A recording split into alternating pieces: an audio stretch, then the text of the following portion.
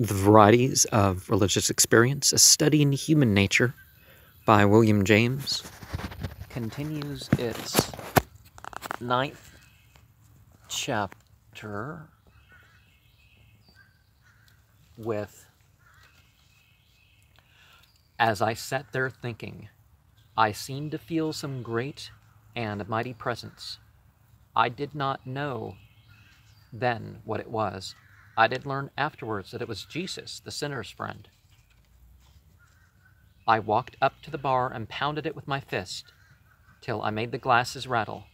Those who stood by drinking looked on with scornful curiosity. I said I would never take another drink if I died on the street, and I really felt as though that would happen before morning. Something said, if you want to keep this promise, go and have yourself locked up. When I went to the nearest station house, I had myself locked up. I was placed in a narrow cell, and it seemed as though all the demons that could find room came into that place with me. This was not all the company I had either. No praise the Lord, that dear spirit that came to me in the saloon was present and said, Pray. I did pray and thought I did not feel any great help. I kept on praying. As soon as I was able to leave my cell, I was taken to the police court and remanded back to the cell.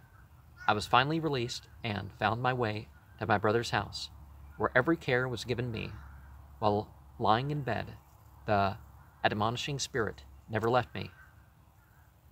And when I arose the next Sabbath morning, you know, they mean Sunday, I'm sure, uh, I felt that the day would decide my fate, and toward the evening it came into my head to go to Jerry Mauli's mission. I went. The house was packed, and with great difficulty I made my way to the space near the platform. There I saw the apostle, the drunkard, and the outcast, that man of God, Jerry Mauli. He rose, and amid deep silence, told his experience. There was a sincerity about this man that carried conviction with it, and I found myself saying, I wonder if God can save me. I listened to the testimony of 25 or 30 persons, every one of whom had been saved from rum, and I made up my mind that I would be saved or die right there. When the invitation was given, I knelt down with a crowd of drunkards. Jerry made the first prayer. Then Mrs. Mowley prayed fervently for us. Oh, what a conflict was going on for my poor soul. A blessed whisper said, Come. The devil said, Be careful. I halted but a moment, and then, with a breaking heart, I said, Dear Jesus, can you help me? Never with mortal tongue can I describe that moment, although up to that moment my soul had been filled with an indescribable gloom. I felt the glorious brightness of the noonday sun shine into my heart. I felt I was a free man. Oh, the precious feeling of safety, of freedom, of resting on Jesus. I felt that Christ, with all his brightness and power, had come into my life, that indeed old things had passed away, and all things had become new. From that moment till now, I have never wanted a drink of whiskey, and I have never seen any money enough to make me take one. I promised God that night that if He would take away the appetite for strong drink, I would work for Him all my life. He has done His part, and I have been trying to do mine. And William James abridged Mr. Hadley's account for other conversions of drunkards. See his pamphlet, Rescue Mission Work, published at the Old Jerry Mauly Water Street Mission, New York City. A striking collection of cases also appears in the appendix to Professor Leuba's article.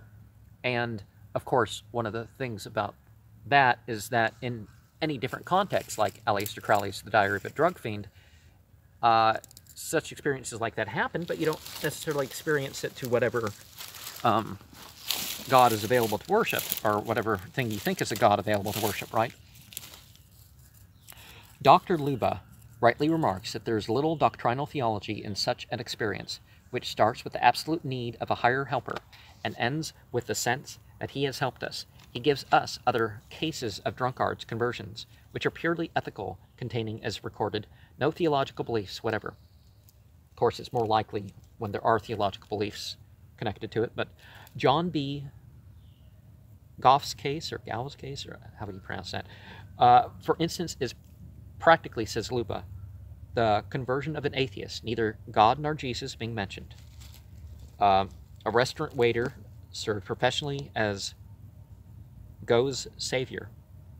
General Booth, the founder of the Salvation Army, considers that the first vital step in saving outcasts consists in making them feel that some decent human being cares enough for them to take an interest in the question whether they are to rise or sink. But in spite of the, as long as they're not some sociopathic psychic vampire or something, right? Um, but in spite of the importance of this type of regeneration, with little or no intellectual readjustment, this writer surely makes it too exclusive. It corresponds to the subjectively centered form of morbid melancholy of which Bunyan and Alline were examples. But we saw in our seventh lecture that there are objective forms of melancholy also, in which the lack of rational meaning of the universe and of life anyhow is the burden that weighs upon one. You remember Tolstoy's case, the crisis of apathetic melancholy, no use in life, into which J.S. Mill records that he fell and from which he has emerged by the reading of Marmontel's memoirs, Heaven Save the Mark, and Wordsworth's poetry. Another is another intellectual and general metaphysical case. See Mill's autobiography, New York, 1873, pages 141 and 148. So there are distinct elements in conversion, and their relations to individual lives deserve to be discriminated. Starbuck, in addition to escape from sin, discriminates spiritual illumination as a distinct type of conversion experience. Psychology of Religion, page 85.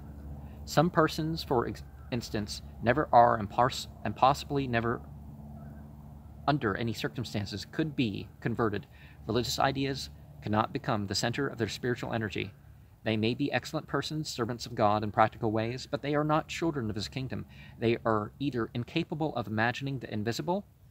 Well, if you're imagining the invisible, then you're not um, experiencing the unseen worlds, right?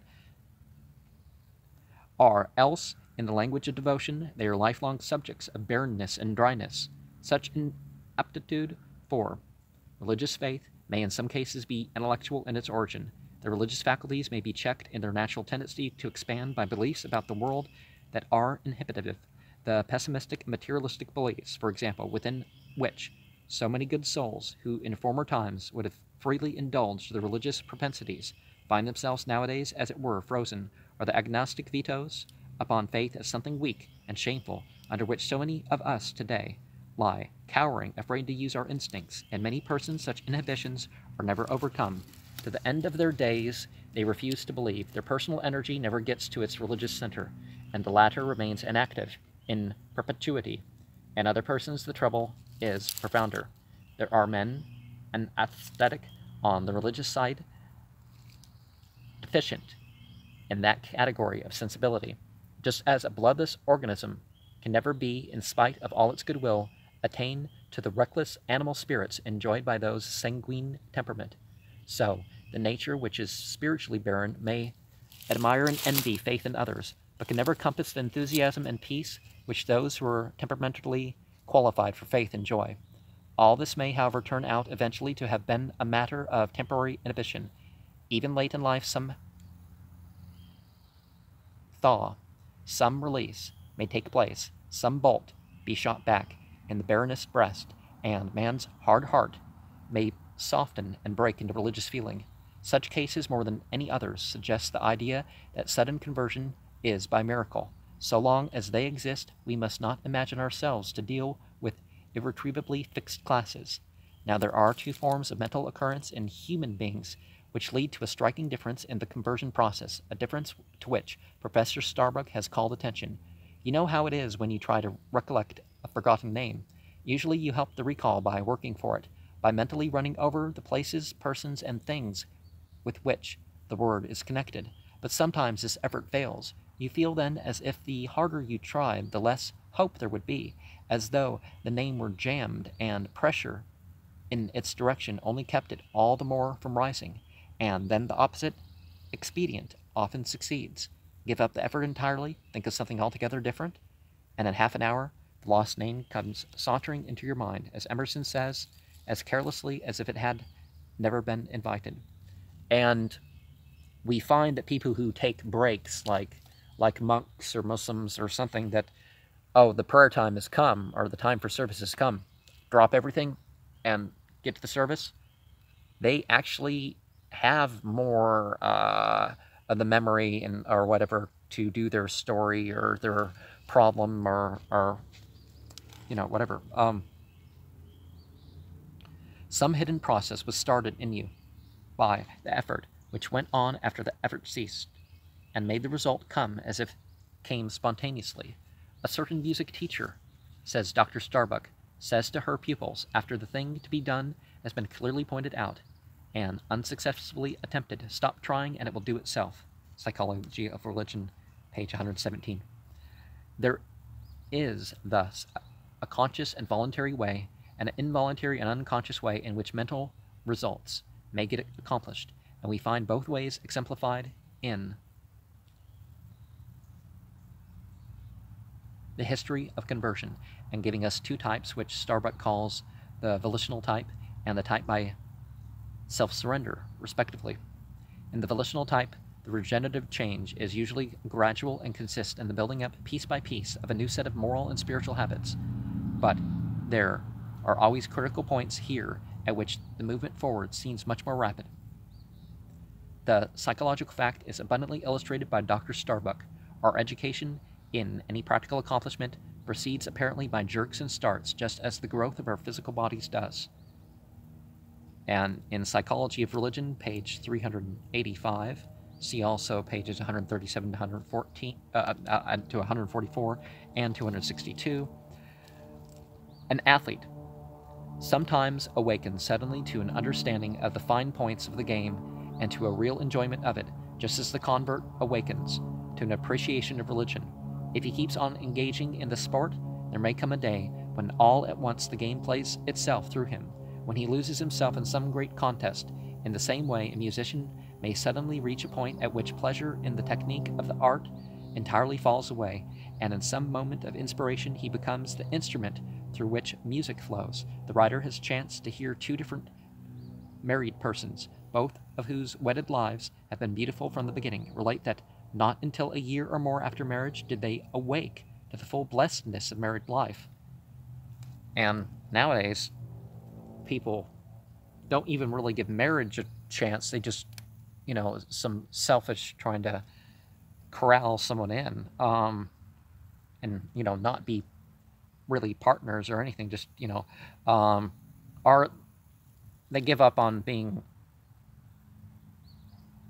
partners all together and just, well, whenever it's convenient for us to come together and everybody runs around and, um, you know, but any, anyways, uh, you know, uh, so it is with the religious experience of these persons we are studying. We shall, and then we go on here. Um, we shall ere long hear still more remarkable illustrations of subconsciously maturing processes, eventuating in the results of which we suddenly grow conscious. Sir William Hamilton and Professor Laycock, not the professor, uh, not the Laycock of the Enochian dictionary that I talk about, of, of Edinburgh, were among the first to call attention to this class of effects. But Dr. Carpenter first, unless I am mistaken, introduced the term unconscious cerebration, which has since then been a popular phrase of explanation. The facts are now known to us far more extensively than he could know them, and the adjective unconscious being for many of them almost certainly a misnomer, it is better replaced by the vaguer term subconscious or subliminal.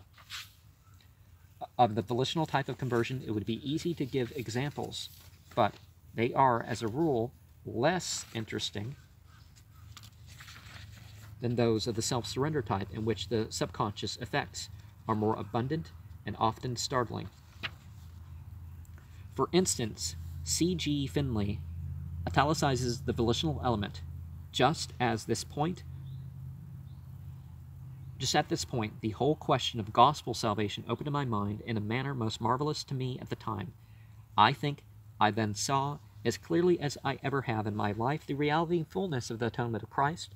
Gospel salvation seemed to me to be an offer of something to be accepted, and all that was necessary on my part was to get my own consent to give up my sins and accept Christ. After this distinct revelation had stood for some little time before my mind, the question seemed to be put Will you accept it now, today? I replied, Yes, I will accept it today, or I will die in the attempt. He then went into the woods, where he describes his struggles. He could not pray, his heart was hardened in its pride.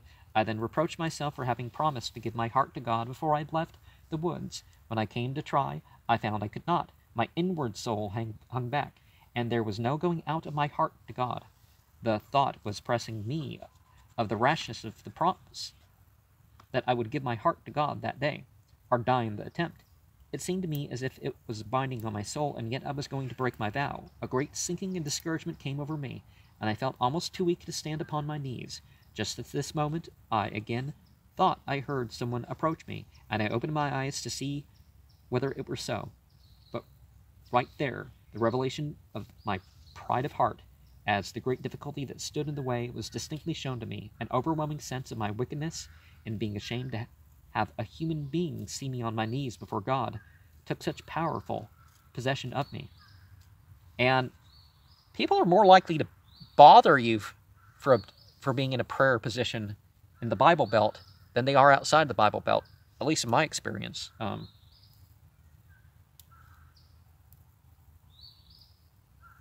that I cried at the top of my voice and exclaimed that I would not leave that place if all the men on earth and all the devils in hell surrounded me. What, I said, such a degraded sinner as I am, on my knees confessing my sins to the great and holy God, and ashamed to have any human being and a sinner like myself find me on my knees endeavoring to make my peace with my offended God. The sin appeared awful, infinite. It broke me down before the Lord. Memoirs, page 14 through 16. Now, I personally would recommend this uh, I'm a sinner approach, but um, that's sort of the thing for so many people, right? Um, I will therefore hurry. Uh, I'm, I'm continuing outside the note. I will therefore hurry to the latter. The more being so, the difference between the two types is, after all, not radical. Even the most voluntary, built up sort of regeneration there are passages of partial self surrender interposed, and in the great majority of all cases, when will has done its uttermost towards bringing one close to the complete unification aspired after, it seems that the very last step must be left to other forces and performed without the help of its activity. In other words, self surrender becomes then indispensable. The personal will, says Dr. Starbuck, must be given up. In many cases, relief persistently refuses to come until the person ceases to resist. Uh, to resist are to make effort in the direction he desires to go. And here's a quote here I had, I had said I would not give it up. But when my will was broken, it was all over, writes one of Starbuck's correspondents. Another says, I simply said, Lord, I have done all I can. I leave the whole matter with thee. And immediately there came to me great peace. Another, all at once it occurred to me that I might be saved too, if I would stop trying to do it all myself and follow Jesus. Well, is following Jesus the same as worshiping Jesus? Leave that to you to answer. Somehow I lost my load. Another, I finally ceased to resist and gave myself up. Although it was a hard struggle, gradually the feeling came over me that I had done my part, and God was willing to do his. Starbuck, page 91 and 114. Lord, thy will be done, Damn or save, cries John Nelson in his extracts of the Journal of Mr. John Nelson, London, no date, page 24. Exhausted with the anxious struggle to escape damnation, and at that moment his soul was filled with peace. And I. Yeah, I guess I'll stop.